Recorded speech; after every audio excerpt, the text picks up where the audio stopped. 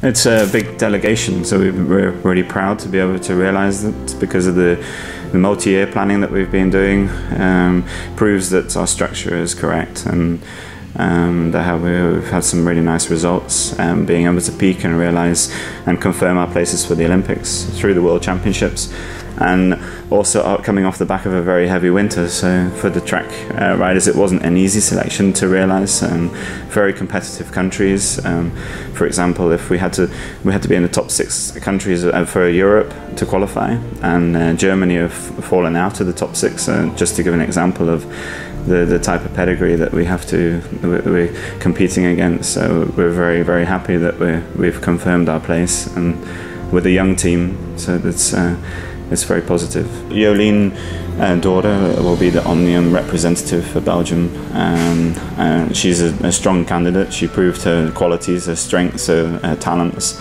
by being Belgium champion now on the road as well. Um, so she has she has a, ma a massive future. Um, she's had she has heavy studies as well, which we've had to split up now and just concentrate purely on her qualification for the Olympics. Um, so when when the Olympics are, are, finished, she will go back into her uh, last two years of um, physiotherapy.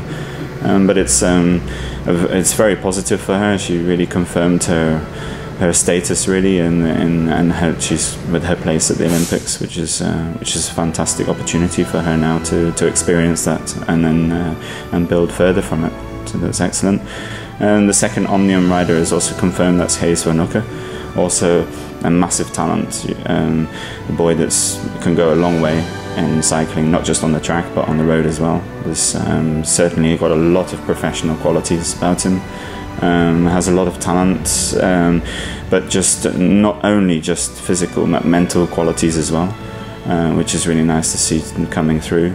He has a lot of strength and depth uh, for being such a young rider. Gijs will be a member of the team in the team pursuit. Well, it's also an underdog team. It has a lot of qualities in it. Um, it's also a team that's um, gelled really well together now. We haven't been such so long together as the, this team, this unit, but we have a lot of strength and depth qualities of experience with Dominique Cornu, for example, um, and then Kenny De Ketele with his track qualities and um, we, we, I think we we've grown really well onto the world stage of team pursuit. In 2008, they took away the Madison, whereas we've just uh, realised being world champions in Madison with Gijs Van Hoecke and Kenny De Ketele.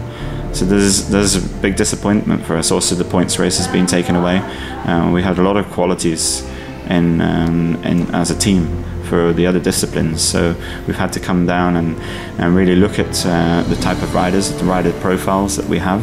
And we've had to build on the back of that uh, to produce real more uh, team pursuit athletes. So that's uh, it was it was quite a challenge um, to get that right, but. Uh, we're, we're, well on track, and that's, that's good. I think that uh, cycling gets a good press, but it also gets a hard press as well. So I think that uh, they're quite they're well targeted and that's also sometimes not fair. And then also, then for example, when we have a young team that really do very well on the World Championships, like we have done now, or a European, there's not so much attention. It could be better, it could be more.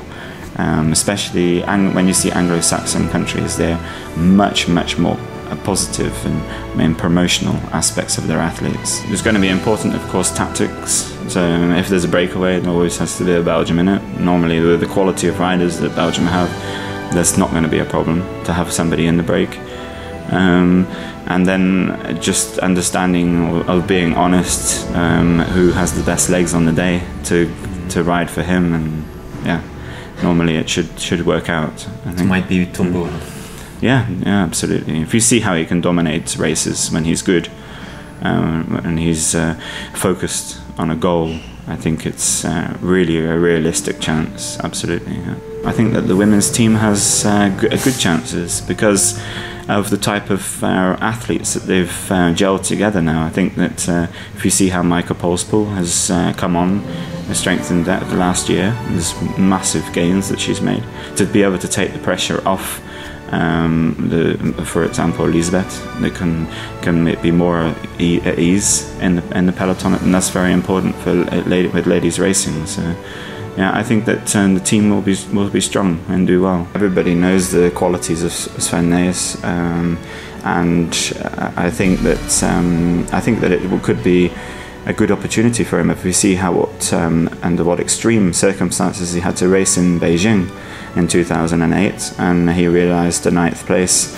Um, so I can see, and now obviously with the start places start order is different than in a World Cup.